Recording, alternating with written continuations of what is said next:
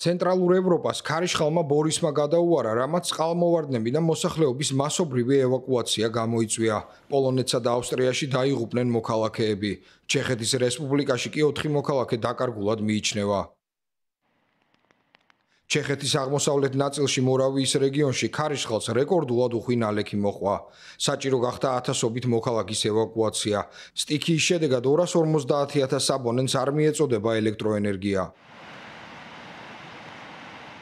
მოსახლეობა უსაფრთხო ადგილას გადაიყვანეს მეზობელ პოლონეთშიც. სტიქიის ადგილას მობილიზებული არიან შესაბამისი სამსახურების წარმომადგენლები. პოლონეთის პრემიერმა კიდევ ერთხელ მოუწოდა მოქალაქეებს დაემორჩილონ ევაკუაციის წესებს. გასულ უქმეებზე ავსტრიაშიც უამინდობამ წყალმოვარდნები გამოიწვია. ხელისუფლებამ ქვეყნის ჩრდილო-აღმოსავლეთ პროვინციას სტიქიის ზონად გამოაცხადა. ავსტრიის მდინარეებზე წყლის დონე მნიშვნელოვნად მოიმატა.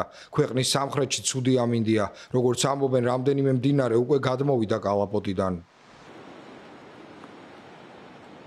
ოტენშტაინის რეზერვუარი თითქმის სრულადაა გადავსებული და შესაძლოა წყალი გადმოვიდეს. მიმდინარეობს ევაკუაციისთვის საჭირო სამუშაოები. ვენაშიც მძიმე ვითარება. შტორმა ქალაქს მნიშვნელოვანი ზიანი მიაყენა. 30 წელზე მეტია მდინარე დუნაიზე მსგავსი ვითარება არ ყოფილა. უხვინალეკი უფრო შესამჩნევი მდინარე ვენაზეა, სადაც ასეთი მასშტაბური წყალდიდობა 100 წელზე მეტი არ მომხდარა.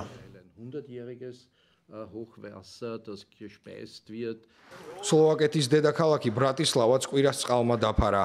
ქალაქის შესასვლელი ბრატისლავის სტუპავის ციხესთან თითქმის სრულად დაიტბორა. მდინარე დუნაიზე რეკორდული მაჩვენებელი გამოვლინდა. საგანგებო სამსახურებმა დუნაის ნაპირებთან ბარიკადები მოაწყვეს, რათა თავიდან აიცილონ მსგავსი შემთხვევები.